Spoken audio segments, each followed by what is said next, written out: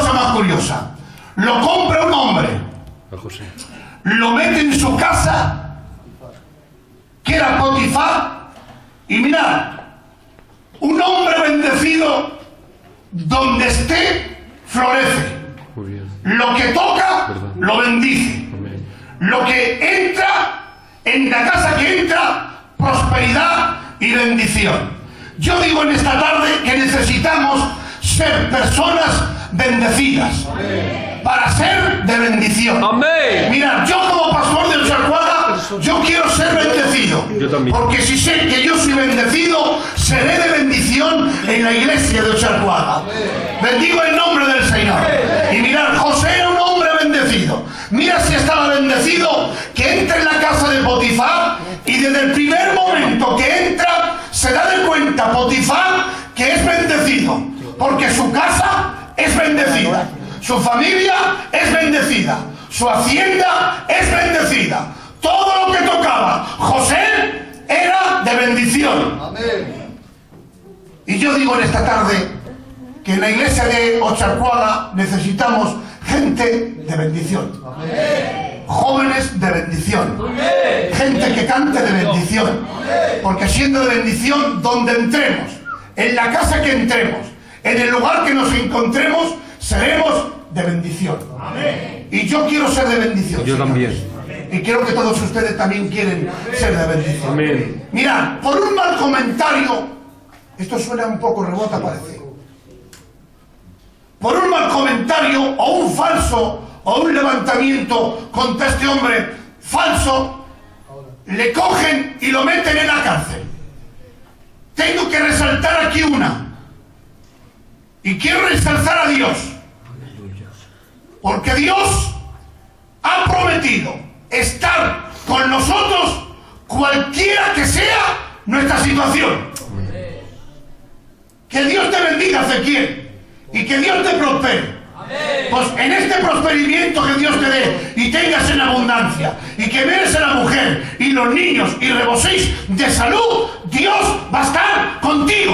Pero también si las circunstancias son contrarias, adversas, difíciles, complicadas, que no tengo donde caerme muerto, que tengo enfermedad, que tengo problemas, Dios no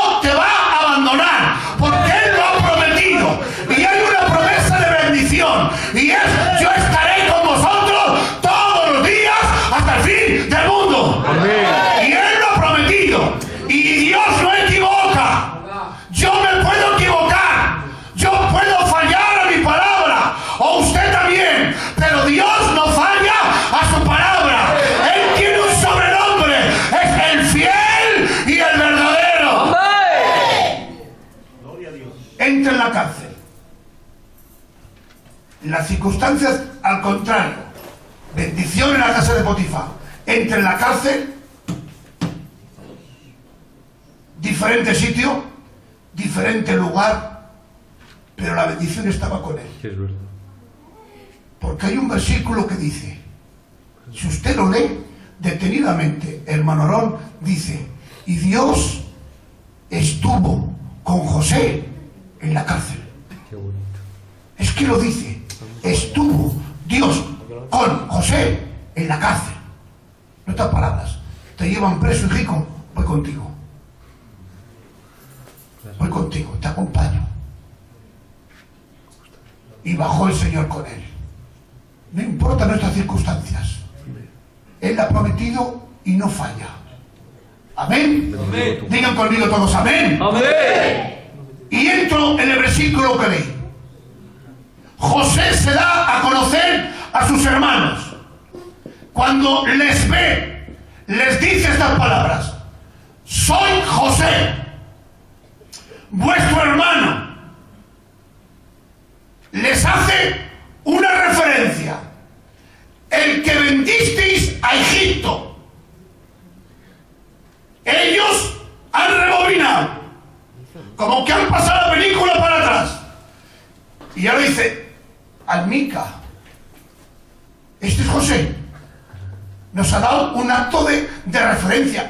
El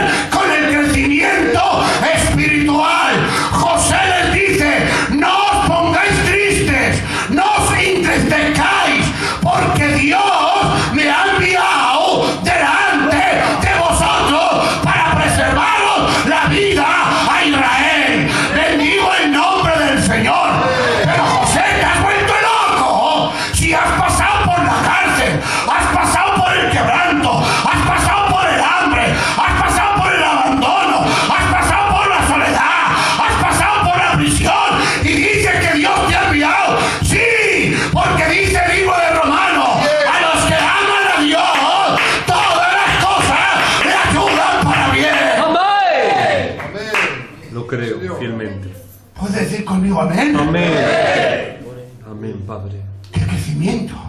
Qué bueno. Nosotros una tribulación, ay, qué fatiga, ay, qué problema. ¿Sabes lo que hace la, la tribulación? Dani, ¿sabes lo que hace la tribulación? Te lo voy a decir. La palabra tribulación viene del griego tribulún. Ay, qué palabrita. Tribulún. ¿Y sabes qué es el tribulún? Te lo voy a decir, joven. El tribulón por la tierra de Castilla era el trillo. De ahí viene la palabra, tribulón. El trillo. ¿Saben lo que hace el trillo? El trillo, para si alguien no lo sabe, es como que fue una tabla. Y que por la parte de, de abajo está llena de piedras, que son como cuchillas. ¿Y saben lo que hace el- el trillo? Que cuando antiguamente eh, separaban el trigo de la paja, pasaban el trillo por encima y separaba el trigo de la paja. Separaba el trigo de la paja. En, en una era grande ponían el trigo, pasaban el trillo y lo que hacía el trillo era separar la paja del trigo. ¿Sabe lo que hace en nosotros las tribulaciones? Separa lo carnal de lo espiritual, de lo que no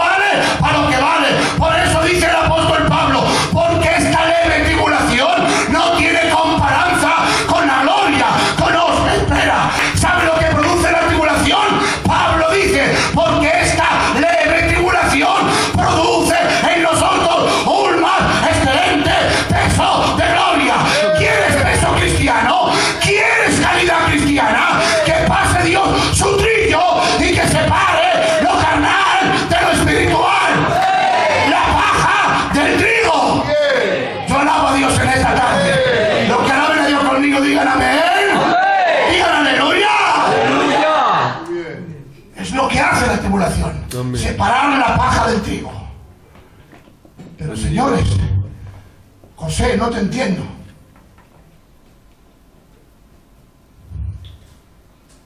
¿Por qué dices eso, pastor? Pues te lo voy a decir que te va, te va a gustar.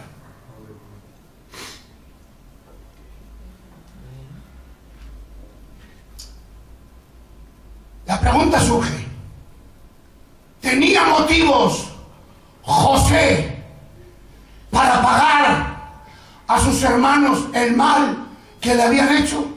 Respóndanme, por favor. Tenía motivo, ¿verdad, Ramón? No se le importar ni sus hermanos, ¿verdad? Tenía motivo suficiente para ahora pagarle el mal que le habían hecho. Aarón, José no estaba en la ley. ¿Qué te has quedado? Porque la ley dice ojo por ojo y diente por diente.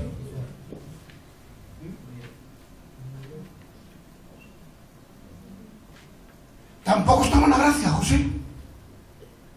Entonces quedarán. Él no vivió en la gracia, Moreno. Pero tenía tanto crecimiento espiritual que estaba viviendo como en la gracia. Otro día os predico un mensaje que tengo de esto. Había crecido tanto, con un crecimiento espiritual, que no le pagó mal por mal. Y escucha, la ley que fue dada más tarde le avalaba. Te has portado mal conmigo, te doy. Pero había crecido tanto espiritual que estaba como viviendo en la gracia. Te voy a contar una historia muy rápida. Ustedes saben que David tuvo muchos hijos. Pues un hijo suyo que se llamaba Amón se enamoró de su hermanastra Tamar. Y sin entrar en muchos detalles. La deshonrado. Se ha portado mal. Su hermano legítimo, que era Salón, le dice a su hermana, no te preocupes, Tamar, que esto lo arreglo yo, como, como los gitanos. Se ha portado mal contigo, pues para pa él, para ciento y un año. Carga contigo. Amón carga contigo para toda la vida. Ha llegado el asunto ante el rey y el rey le ha hecho caso. Era su, era su hijo también. No lo arreglo, no hubo arreglo. No hubo arreglo. ¿Sabes quién estaba dañado? A Salón, porque era su propia hermana. ¿Y sabe lo que hizo a Salón? Lo tenía en el corazón. Ya llegará, como nosotros a veces decimos, ya llegará la pelota a mi mano, ya llegará. ¿Qué ha pasado, hermano? Pues que es el cumpleaños de Asalón. Y dice a su padre, padre, es mi cumpleaños. Se han pasado dos años. Dos años. Desde ese incidente hasta que cumple años Asalón, se han pasado dos años. Y después de dos años le dice a Salón a su padre, padre, es mi cumpleaños, voy a celebrarlo por todo, por todo lo alto, quiero que vengas a cenar conmigo, a celebrar el cumpleaños. Y dice David, mira, no puedo, hijo, no puedo ir, pero bueno, padre, permite que todos mis hermanos vengan. Pues que vayan todos tus hermanos a pasarlo bien, a comer hinchados, que es tu cumpleaños. Están cenando y ha dicho a Salón, a sus criados, hincharle de vino, hablando con respeto, Amón. Y cuando le veáis borracho, le quitáis la vida. Pero a Salón, ha vuelto loco. Si se, nos han pasado dos años. Y hay un dicho que dice que con el tiempo se cura todo y la tierra se aprieta. ¿Qué ha pasado? Pues nada. Que el que tiene algo en el corazón lo tiene. Y tarde más o tarde menos, como no se sale, sale eso. 100%. Dios reprenda todo aquello que esté en nuestro corazón que no agrade a Dios. En nombre de Jesús. Amén. Si hay algo que tienes en el corazón contra alguien, arréglate.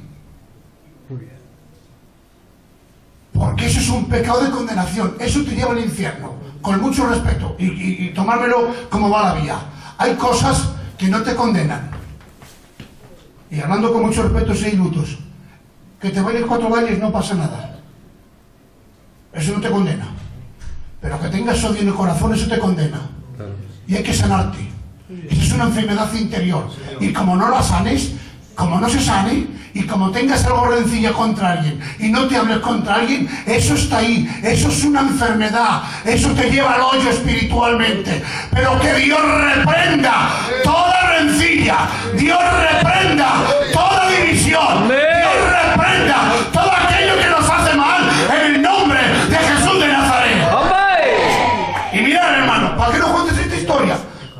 Contaros esta historia para reflejaros que después de dos años, lo que tenía en el corazón a Salón, salió. ¿Sabes cuántos años pasó de José con sus hermanos? Unos 13 o 14 años. Ya les cogeré.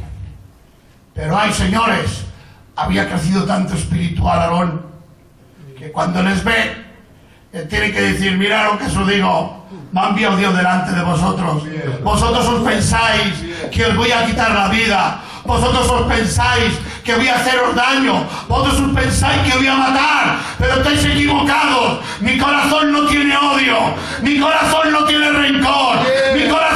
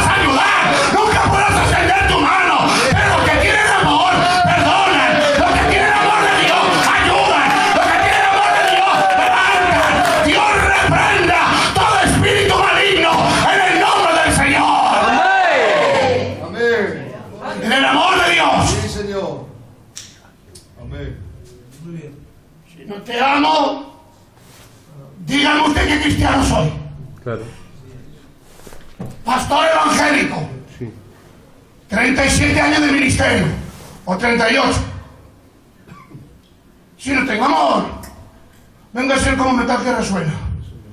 Que no vale para nada. Un cantamañanas. Porque el evangelio, perdonadme. Uy, qué mal estoy hoy. El evangelio es más que venir al culto. Es más que echar 20 duros a la ofrenda, 20 duros no, un euro, o 5, 10 o 20. Es más venir que a la reunión. Ser cristiano es más que levantar las manos.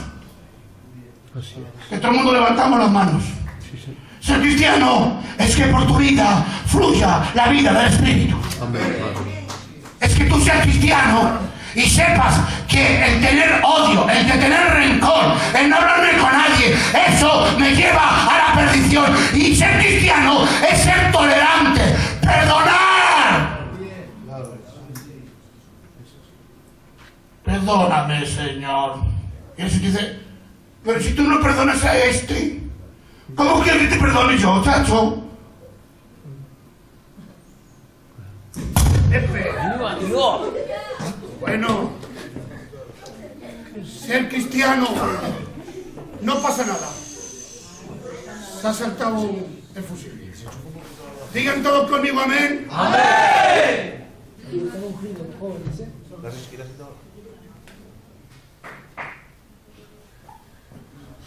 Ser cristiano es más que ocupar una silla en el banco. Ser cristiano es perder de nuestros derechos y nuestras razones. Porque José tenía derechos y razones y argumentos para hacer mal. ¿Ustedes se acuerdan del juicio emblemático que hizo Salomón? De aquellas dos mujeres que trajeron el niño, que el, mío que el niño es mío, que no, que es mío, y había ahí un enredo. Dice la Biblia, noten, dice la Biblia que Salomón dijo, tráeme una espada. ¿Para qué quieres una espada? Voy a partir el niño. Noten, dividir el niño, separarlo. La Biblia dice, y la madre verdadera se le conmovieron las entrañas. No sé qué lo, lo que le pasó. Le vino un dolor interior que aquella mujer gritó, ¡No! ¡Desgarrador! ¡No lo mates! ¡Dásela a ella! La había parido ella. Y la otra que no era suyo, se me dice, no, no, no, partilo, partilo, la mitad para cada una. La pregunta surge, ¿quién tenía razón? La madre verdadera, era su hijo. Pero si por la razón dividimos al niño y me lo matan, pues ¿para qué quiero la razón? Muy bien. Pues me quedo sin razón y me quedo sin nada, pero que el niño viva,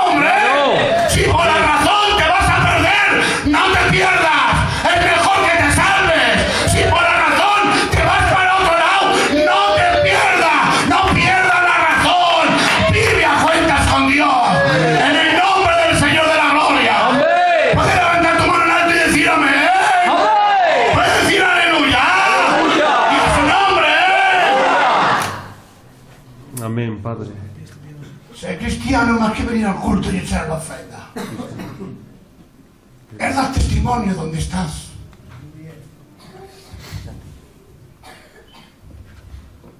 Uy, May. Me estoy calentando, ¿eh? Me estoy calentando, ¿eh? Ser cristiano más que venir al culto y echar la ofrenda, hombre. Y luego seguimos del culto y no conozco a Dios ni al que está al lado. Pues no, hombre. Fuera del culto es donde tengo que empezar lo que vengo a hacer al culto. El culto es el principio. Acaba el culto y empieza mi vida cristiana. Que Dios nos ayude. En el corazón de José no había nada malo. Mira si era bueno que tuvo un cambio tan radical y tan crecimiento espiritual que le dice, mirad lo que os digo.